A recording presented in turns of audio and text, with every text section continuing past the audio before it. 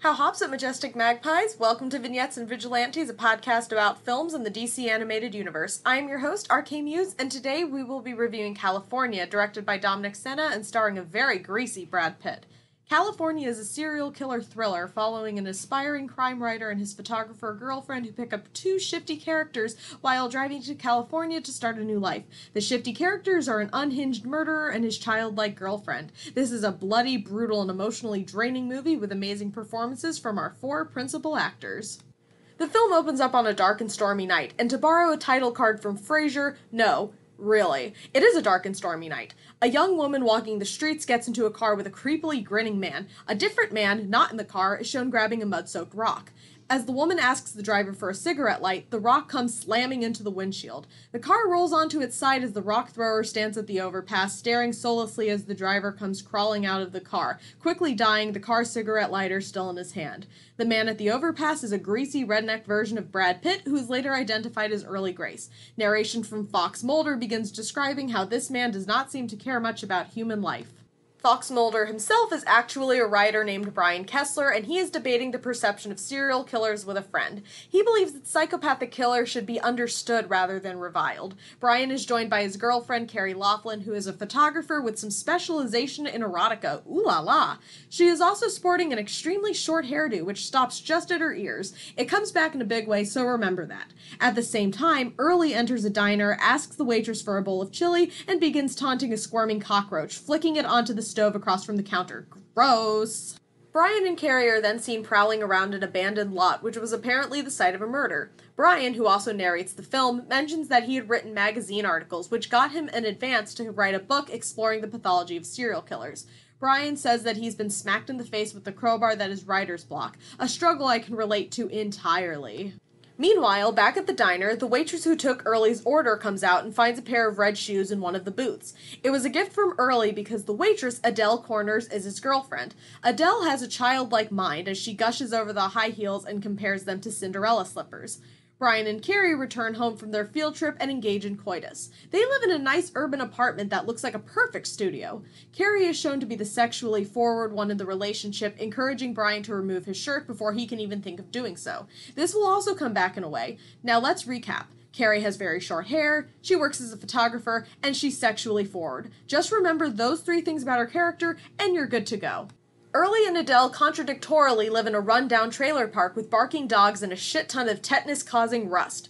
Brian and Carrie are sitting at home with Carrie observing her sexually explicit pictures. The gallery she does freelance for is not a fan of her explicit content. She is extremely depressed by being rejected, and can anyone blame her? She is also looking for a change, moving to California, a place where the artists go in droves. This sparks an idea in Brian, who decides they might as well take the chance. Their idea is that if they go to California, they have a better chance of making their dreams come true.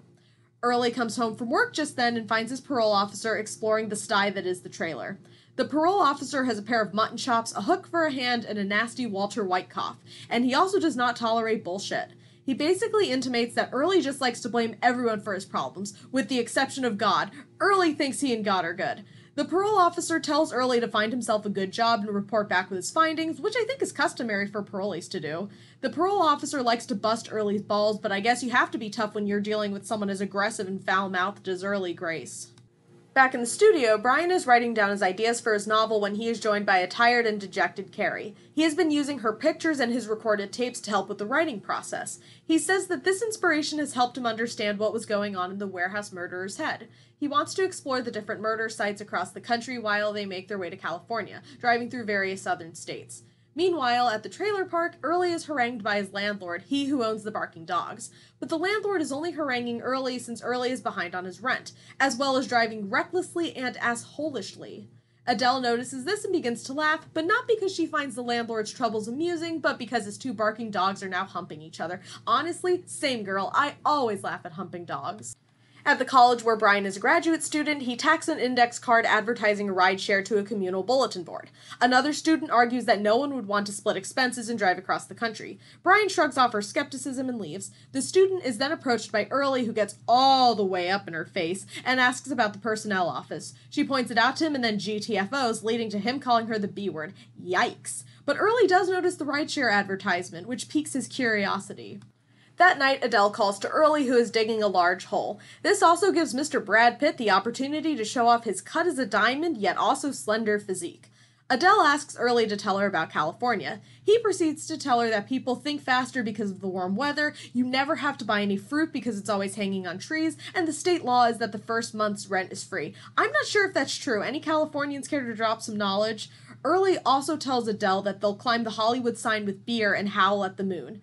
Early then tells Adele to go on and get, since he still has that massive hole to dig. Later on, we get to see a naked Brad Pitt emerging from the hole, only the backside, ladies, as the scene transitions to a brand new day. Brian and Carrie are leaving their apartment, bags packed, dressed in black leather. Brian is amused and flattered that Early called him Sir the entire time he was being interviewed. Carrie hopes that Early and Adele will be more interesting than Brian's friends, who apparently only like to talk serial killers. Adele is at the depot waiting on Early, talking to herself and holding a canvas bag with her baby cactus Lucy inside. She is nervous about leaving the state as his parole forbids such a thing. As Brian and Carrie approach them in the car, Carrie remarks they look like Okies, while Adele tells Early that the other couple looks weird. Brian is just plain friendly though and introduces himself to Early and Adele, helping the latter with her bags. Adele eagerly introduces herself to Carrie, who is cool as a cucumber. Adele says she likes Carrie's hair because it's short, and though Early says nothing to Carrie, he does shoot her a glance in the side view mirror. As they drive away, the camera pans on Lucy lying in the trash can. As they start driving, Brian makes conversation, with Early revealing that he used to work in a mirror factory. Adele says that Early had several hundred years of bad luck because of breaking mirrors in the factory. Carrie mentions the concept of karma, which flies right over Adele's head. Back at the trailer park, Early's coughing parole officer is surveying a burning mess taken care of by firefighters. The officer on site says that it's an arson job, and the parole officer says Early was talking about moving to Texas. The cop asks about the landlord, but then the firefighters call out having found the landlord murdered. Brian's narration reveals that Early was wearing the landlord's ring, and then speculates about what happened to the landlord's finger. At a pit stop, Early purchases a camera for Adele and tacks on a Virgin Mary statue to the dashboard. In his words, just in case. He may be religious, but considering the fact that he brutally murdered a man, I don't think he's even that close to being considered a true holy person. The first stop on the murder tour is exploring the Novak family farm, which seems perfectly idyllic with the white picket fence and the cute little house. But Brian reveals that the Novak family had accepted a drifter into their home. After coming up dry on work for the drifter, the Novaks asked him to leave, and in response, he murdered the entire family, including the nine year old daughter. Swell guy. Carrie tries taking pictures of the estate but keeps getting photobombed by an ominous looking Early. Brian and Carrie meet the new owners of the Novak home while Early eases an unlocked window open and steals a purse. Later that night, they convene at a hotel. While having din din, Early removes his tattered sock and rubs his foot, right at the table and right next to a stunned Carrie. Personally, I don't think she's being unreasonable, but Brian definitely thinks she's acting snotty when she complains to him in their own room. Brian argues that Early can't help being that way because it was how he was raised. Meanwhile, Early is bitching about the $30 a night stay for a motel, and Adele sings to herself. Back in Brian and Carrie's room, she is convinced they're nearly broke and she does not want to pick up the slack. Brian distracts her with sexy times and they begin having some sex against the wall, which allows us to see Fox Mulder's butt. A lot of fan service in this movie, both for people attracted to men and to women. As Brian and Carrie begin having raucous intercourse, we see Early leaned against the wall, listening intently. Creepy. The next morning, they meet for the morning meal. Not that Early and Adele take part, since Early does not believe in the eating of breakfast. Adele pops by with hair just as short as Carrie's, much to Carrie's shock, especially when Early says that Adele looks prettier with short hair. Brian compliments Adele's hatchet job, and it becomes abundantly clear that Adele does everything Early asks of her. Carrie's creep meter is going absolutely haywire, and I feel the same way. As the quartet stop for gas, Early stands in the middle of the road, causing a driver to honk at him. Nobody likes being honked at, but Early takes it a step too far when he corners the man in the bathroom and stabs him to death. The man was draining his catheter at the time when Early stabs him. Meanwhile, Adele tells a chain smoking Carrie that she used to smoke and that Early helped her break that habit because he thinks women should not smoke, drink, or swear. Adele tells Carrie that she spells her curse words instead. Brian goes to wash up in the bathroom, but Early gets him to change his mind by claiming he took a wicked shit. Paulie Walnuts has got nothing on Early when it comes to wicked shits. The foursome drive on forward, and it seems as though Carrie is softening towards Adele. Not towards Early, of course, but she and Adele are playing card games like old pals, while Brian and Early discuss the never discovered Black Dahlia killer. Early likes Brian's theories of the Black Dahlia killer being a serial murderer, and he probably likes that theory because it validates his own feelings. He thinks the Black Dahlia killer is old and reliving his memories of serial murder over and over. As they stop at a motel that night, Brian and Carrie share a nice kiss before Brian and Early head out for the night. Carrie and Adele begin chatting, and Carrie asks how the two of them met. Adele was hitchhiking and was immediately taken with Early's serious face. She says she was charmed by his angelic eyes and she went to live with him in his trailer. Adele proposes they all live in a house together in California, and Carrie has that awkward moment where she doesn't really want to commit to anything because she's got other plans. Carrie offers to straighten up Adele's hair, and Adele admits that she doesn't like having short hair. While fixing her hairdo, Carrie learns straight from Adele that she had been brutally gang raped as a teenager and that she had regressed to a childlike state, which explains a lot of her naivete as well as her idealistic outlook. She says that she feels safe with Early because he treats her nice most of the time. She also says that he'd never let her be attacked like that. This saddens Carrie, but Adele fawns over her improved haircut, saying it looks professional. Early and Brian have headed to a pool hall, and a low class biker begins giving Brian trouble. Early indulges his psychopathic tendencies and administers a beating to the biker. This stuns Brian, who's clearly not used to seeing so much violence at the drop of a hat. Carrie and Adele are still chatting, and Adele mentions that her mother worked as a beautician and was very disappointed that Adele shacked up with Early. Adele also lets it slip to Carrie that Early was jailed for resisting arrest and carrying a gun. Adele leaves and feels immense guilt for drinking with Carrie. As Brian and Early are leaving the pool hall, an inebriated Brian begins acting as raucous and obnoxious as Early, just minus the sadism. Honestly, not a great influence. Brian comes home to find Carrie smoking and looking cross, but also thoughtful. Brian reveals that he was drinking with Early. Carrie says they have to talk about Early. She was particularly incensed by Early beating Adele for myriad reasons, including drinking and, in her words, only when Adele deserves it. Early also gives conflicting information. He told Adele he was jailed for carrying a gun, while he told Brian that he stole a car. Carrie is livid by Brian defending Early, and these aren't thoughts that go away from a good night's sleep. The following morning, Brian is horribly hungover, but Early is unbothered by the night of drinking. As they're driving on, Adele pulls out a brand new cactus out of her backpack, calling this one Shelly. As Brian, still hungover, looks over his shoulder, he spots a gun in Early's luggage. Not a good sign. At the next stop on the murder tour, Early is shooting out windows with the aforementioned gun and gets Brian in on it. Adele is excited by the show of marksmanship, but Carrie is sickened. Now, enjoying shooting guns does not mean you're a psychopath, but considering Early's growing influence on Brian and Carrie's revulsion at the mere thought of Early, it's easy to see why she's so terrified. Early, oblivious to Carrie's discomfort, tells Brian to keep the gun, reasoning that he can get another one down the line. While exploring another murder house on the murder tour, Brian plays a recording of a young woman being murdered. Carrie, who's completely unnerved at this point, begins taking pictures but eventually stops near tears. She is disturbed by the tape and even more disturbed by how Brian is becoming mesmerized and enchanted by Early. She argues that just one week ago, Brian would have never shot a gun as wildly as he did. Brian says that firing off a gun was just a cheap thrill. Carrie can't believe she agreed to take murder photos, and Brian argues that she was always gung ho about the project. Carrie counters that she just wanted to get Brian motivated so they could get to California.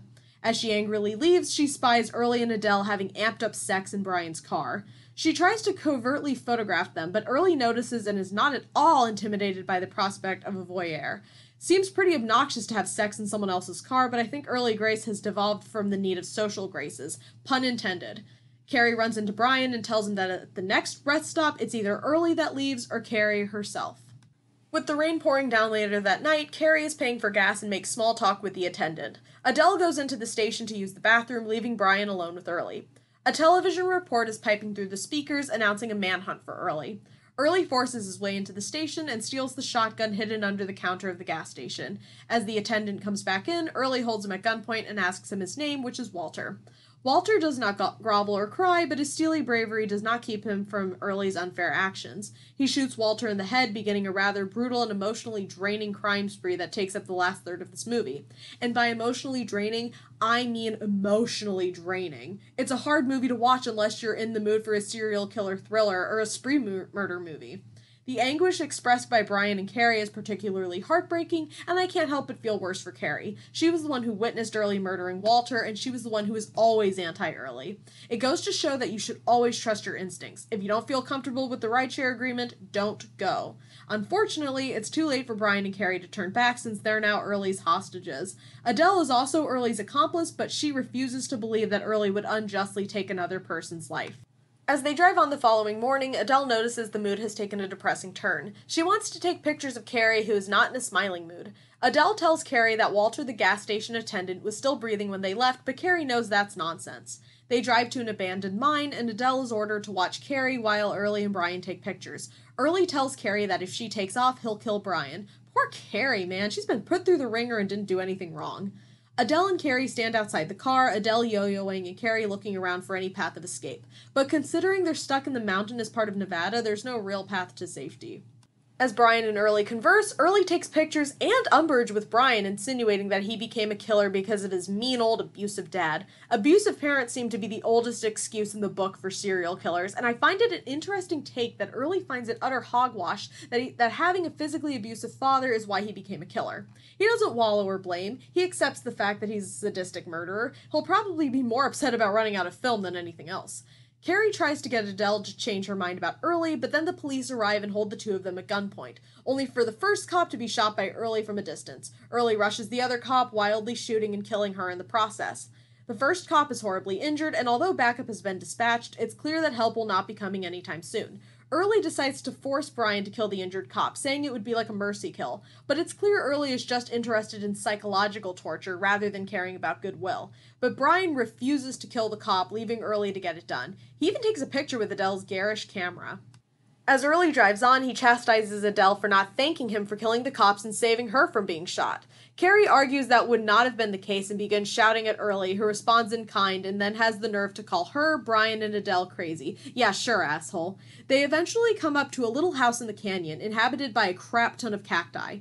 Adele prattles on about cactuses while Brian, handcuffed to the steering wheel, tries to appeal to her sense of humanity. Early, having used Carrie to get into the house, then begins terrorizing the woman who lives there, who claims she's a widow. Her name is Peaches, and Early finds out about this after sneaking up on her husband in his study. He murders Peaches' husband, Hank, and then gloats about it to Peaches, proclaiming that she is indeed a widow now. Mercifully, though, the act is off screen, but we do get to see Early wielding a golf club. Life sucks for Peaches right now, a kind old woman who did nothing wrong. She, of course, passes out from shock. While Brian and Carrie are handcuffed to the baby grand piano, Early is poring over Carrie's photography, which has been shown throughout the film depicting extremely sexual positions. Early is thoroughly bored and unimpressed by her work. Adele watches over an unconscious Peaches and can't stop crying, especially as she morosely plays with the numerous cactus knickknacks. When Peaches comes to, Adele promises she won't die as long as she keeps quiet. Carrie distracts Early by saying the model in the nude pictures are her, while Adele whisks Peaches away. She allows Peaches to escape through the back, while Early goes on to tell Brian that he needs to control his woman. Early goes to check on Adele and finds her with the back door open. Peaches nowhere to be found. Adele is also beside herself, seeing it as a clear betrayal to her horrible boyfriend, but she stands up to him and hits him in the head with a potted cactus. Brian decides to lift the piano, telling Carrie to slide her hands out from under the instrument. Adele then tells Early that he's mean and that she doesn't want to hurt anyone with him. Brian's plan has worked and he encourages Carrie to run for it, but Carrie refuses to leave Brian behind. Early comes back and Carrie shouts for Adele to escape. Early begins having a freak out and decides now is as good a time as any to kill Brian so he can have Carrie all to himself. Carrie tells Early she'll do anything, including going with him if he spares Brian. Early pistol whips Brian and then makes off with Carrie. The next morning, Carrie, clad in one of Adele's baby doll halter tops, is primped by Early and, taken away from Peaches' property, and we see Adele murdered in the Garden of Cactuses. Another off screen death, but I think seeing Early murder Adele would have been particularly heartbreaking for the audience. She was not complicit, she was a mentally ill woman who was fed a bucket of lies and mistreated for years. Early is far from a charmer, and when Carrie smokes to take the edge off, he snatches the cigarette from her. Meanwhile, Peaches is in the living room and is relieved to find that Brian is not dead, just wounded. Props to Peaches for going back to check on the two people who were being held hostage by Early. Anyway, she helps him slide out from under the piano again. Brian really stepped the fuck up. He was able to lift a baby grand twice, and although Peaches did not have any handcuff keys nearby, she and Hank were not kinky in that way. Brian manages to maneuver his hands and drive an old truck to follow Early and Carrie, who are now squatting in a nuclear testing site in the desert. Early threatens the dummies inside the testing site. Yeah, sure, buddy. I'm sure they would, you know, fight you or whatever. And then takes Carrie to another room in the splintering house. Brian speeds his way into the site but gets a little carried away. The truck he's driving soars off the shoulder and crashes into another parked car. It's a minor miracle Brian isn't paralyzed or dead, but there is not any anticlimactic death in store for him. But Early is not making a resolution easy. He has posed the mannequins in sexual positions and is eyeing Carrie with nothing but cold cruelty and putrid lust. He gets up and advances toward her. He pulls her up and gropes her chest and butt. But Carrie stabs him in the stomach with a shard of broken glass. He smacks her in the face, but she manages to run off, hiding in an old bedroom, only for him to corner her and knock her onto the bed. He chastises her like a dog who has just peed on the floor, several consecutive no's, before turning her over on her stomach and handcuffing her to the bed frame. The film dissolves and time passes into morning. Early is sleeping in the living area when breaking glass causes him to stir. He investigates and is greeted with blinding sunlight and a smack in the face with a shovel from Brian. Brian tosses the shovel away, electing not to act like Herbert West. He streaks through the house calling for Carrie and finds her silent and horribly bruised. She flinches when he touches her and he extrapolates that Early raped her. He is then attacked by Early, who is hiding in the Clarice Starling danger corners, stabbing and slashing Brian in the process. Brian army crawls his way over to Early's gun, and let me tell you, Early looks fucking scary with his bloody and grease soaked hair. Early continues to taunt Brian and sings my favorite Lynyrd Skynyrd song, Freebird. Brian grabs the gun but is helped by Carrie, who hits Early in the face with the arm of a test dummy mannequin, having dragged herself over, still cuffed to the bed frame. Carrie tells Brian that the handcuff keys are on a chain around Early's neck. Brian approaches a wounded Early, who sputters and gasps. Police sirens are heard in the background, and Early grabs Brian's face in a last ditch effort to scare us. He gives a sputtering laugh as Brian shoots him to death. Meanwhile, on a Californian beach, a helicopter flies overhead. Carrie is at the water's edge, her hair having grown much longer. Carrie and Brian are living in a beautiful and probably hella expensive beach house, their relationship having survived the horrors of the rideshare from hell. She goes inside, probably having frozen her tail off in the Pacific Ocean. Brian is listening to his own recorded narration about Early and says he felt nothing when he looked into Early's eyes. He muses that anyone can take a human life, but the monsters don't feel remorse or guilt. Brian listens to his various tapes, which is probably not the greatest form of therapy, but what are you going to do? Carrie finds Brian inside and tells him that an art gallery was extremely interested in her work. Brian proposes they go out to celebrate, leaving behind the still running tape that includes Adele gushing about their friendship and thanking Brian and Carrie for taking her and Early along. She also hopes that Brian and Carrie won't forget about them when they get to California. And it's glaringly obvious that they'll never quite forget about what happened. And that sums up Kalifornia. Let's move on to the personal review, shall we? Okay, so remember how I said to remember three certain aspects of Carrie's character her short hair, her sexual freedom, and her photography? Well, we're going to discuss those elements in relation to the movie as a whole, so I'm glad you've been paying attention. Let's start the lecture, I, I mean the review. Early Grace can be recognized through sadistic murder and a weird predatory view of women. The way he treats Adele tells us that he preyed on a young woman who had survived a horrific experience, which had caused her to slip into a childlike state. Adele, a rape survivor, had regressed to a childlike mind, and while she and Early still have a sexual component to their relationship, one can imply that he is a frustrated person who likes to control others. Controlling every aspect of Adele's life is what gets him off. He yells at her more like a parent than a lover, and he talks to her in a similarly condescending tone. He assumes that same condescending tone when Carrie fights him off. He scolds her like a puppy or who is just pissed on the floor. Early is possessive and cruel, but he's also savvy and manipulative. He can make Adele love him unconditionally, and he tries forcing Adele's characteristics onto Carrie. And when Carrie bristles, he becomes aggressive. Just a theory, but I believe Early is intimidated by a sexually free and confident woman, which is the polar opposite of his sweet juvenile girlfriend. He takes advantage of how timid Adele is due to the trauma she felt at her rape and feels frustrated that he can't easily take advantage of Carrie in a similar fashion because she's more casual about sex. Early cuts Adele's hair so that it resembles Carrie's, which is entirely possible because Adele's hair is much longer and it's easier to cut long hair than to wish short hair to grow. This also sets off a few warning bells for Carrie, who can see that Early is becoming obsessed with her. One point I love to bring up about this movie is how Carrie and Adele are perfect foils. Carrie is the womanly figure in this movie, as opposed to Adele's girlish archetype. Carrie is eager to have sex and seems to initiate everything between her and Brian. Adele worships the ground Early walks on and is fine with letting him call all the shots. And when it comes to the dynamic between the two couples, Brian never polices Carrie until she starts egging on Early while the two are being held against her, their will. Then sh- he's definitely telling her to shut up. That conflict had nothing to do with their relationship, but rather an effort for survival. On the flip side, Early controls every part of Adele's life. He bans her from smoking, drinking, and swearing. He won't even let her have breakfast just because he himself doesn't believe in it. He resents the fact that he can't control Carrie in the way he controls Adele, so he uses sex, one of the things she's free and liberal with, to break her towards the end of the movie. But I don't think he succeeded in breaking her. Carrie is quiet, trembling, and traumatized, but that is entirely normal of a person who's been through a traumatic experience. She is also able to help Brian subdue early, showing that she is not too far gone. She and Brian are able to resume their relationship, and though we don't get to see the struggles they went through before the conclusion of the film, we can guess that they fell back into the original roles of their relationship.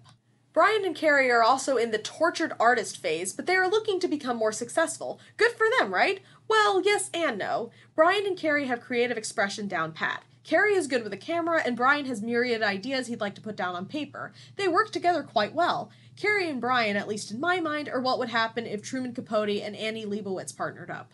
Amazing pictures with poignant writing? Forget about it. But both of their passions become skewered because of their association with Early. Brian's desire to write true crime is mocked and analyzed by Early, who thinks the idea of trying to understand serial killers to be ludicrous. Early physically destroys Carrie's portfolio and also violates it by sticking his tongue in the paper in a lewd manner.